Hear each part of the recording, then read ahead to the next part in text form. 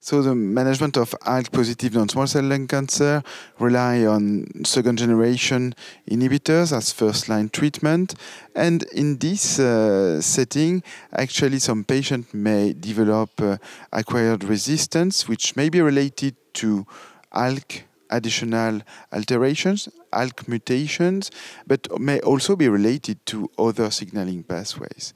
We know that uh, uh third generation TKIs, such, such, as lorlatinib, cover a majority of those mutations. And from the clinical data, we actually uh, do not need uh, the testing for those mutations, as lorlatinib may be effective in a majority of, of, of patients.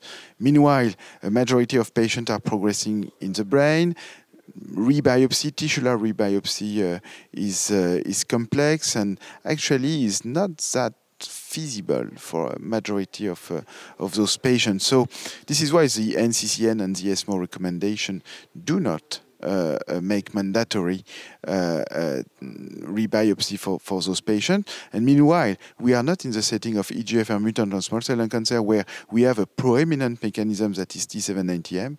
Here in ALK disease, we have multiple mutations, multiple mechanisms that may be difficult to identify uh, uh, on uh, tissue rebiopsy or even liquid rebiopsy.